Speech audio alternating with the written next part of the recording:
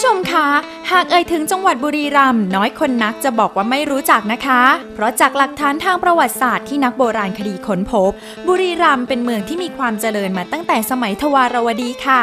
นอกจากนั้นยังมีภูเขาไฟหลายลูก โดยลูกที่มีสภาพดีและอายุน้อยที่สุด ก็อยู่ที่วนอุทยานภูเขาไฟกระโดงนี่เองค่ะ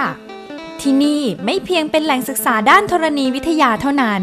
แต่ยังมีทัศนียภาพที่สวยงาม รวมทั้งเป็นที่ประดิษฐาน พระพุทธรูปประจำจังหวัดอีกด้วยค่ะ ในพื้นที่วนอุทยานภูเขาไฟกระโดงนะครับ มีเนื้อที่ 1,450 ไร่ ติดต่อกับป่าสาธารณประโยชน์โคกเขากระโดงอีกประมาณ 6,000 ไร่ครับ เรามีหน้าที่ในการให้บริการความรู้ โดยเฉพาะนักเรียนนักศึกษาที่เข้ามาศึกษาสภาพพื้นที่ป่าเต็งรังซึ่งมันเกิดอยู่บนทานลาวา ซึ่งอายุน้อยที่สุดในประเทศไทย อายุ 6 0 0 0 0ถึง9 0 0 0 0 ปีครับ สภาพที่เรามองเห็นได้ชัดเจนจากการที่สภาพป่องนะฮะ เป็นป่องลึกเป็นแอ่ง สภาพดินสภาพสีของภูเขาไฟที่มีลาวายังสดใหม่ โดยเฉพาะหินที่มีรูพุนที่เรียกเราเรียกว่า vascular scoria หินพวกนี้สามารถลอยน้ำได้และเป็นที่เดียวในประเทศไทยนะครับ แล้วก็ในบุรีรัมย์ด้วย ถ้าเดินขึ้นไปนะฮะก็จะมีตั้งแต่เรื่องราวก่อนประวัติศาสตร์ แล้วก็เรื่องประวัติศาสตร์ตั้งแต่สมัยยุคขอม เพราะว่าเรามีปราสาทอายุ 800 กว่าปีครับยุคชัยรมันที่ 2 แล้วก็มีรอยพระพุทธบาทจำลองคือ หลักฐานของพระพุทธศาสนาที่สร้างโดยคุณหญิงสิงห์เกษณีเจ้าภรรยาของเจ้าเมืองนครราชสีมาเนี่ยสร้างไว้ 150 ปีที่แล้ว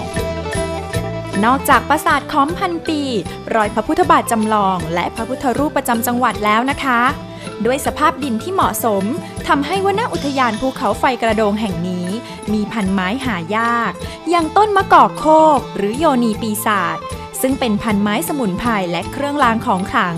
ในโครงการอนุรักษ์พันธุ์พืช ของสมเด็จพระเทพรัตนราชสุดา สยามบรมราชกุมารี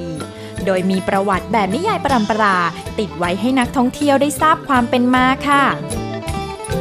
ด้วยความที่เป็นป่าใกล้เมืองครับ การ คมนาคมขนส่งสะดวกมากนี่ทำให้ในแต่ละวันมีนักท่องเที่ยวมาจำนวนจำนวนมาก อยากจะขอฝากนักท่องเที่ยวว่าให้เดินตามเส้นทางรถที่ได้กำหนดไว้ แล้วก็เรื่องการทิ้งขยะขอให้ทิ้งในที่ที่จัดเตรียมไว้ ก็ขอให้เคารพในกฎระเบียบ แล้วก็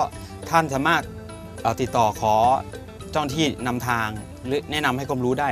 ในกรณีที่ท่านเป็นมาเป็นหมู่คณะนะครับ หากมีโอกาสมาจังหวัดบุรีรัมย์ต้องหาเวลามาเที่ยวชมและศึกษาประวัติศาสตร์ของวนอุทยานภูเขาไฟกระโดงนะคะ เพราะไม่เพียงความรู้ที่คุณจะได้รับ แต่ยังมีความสุขเป็นของแถมติดไม้ติดมือกับบ้านด้วยค่ะ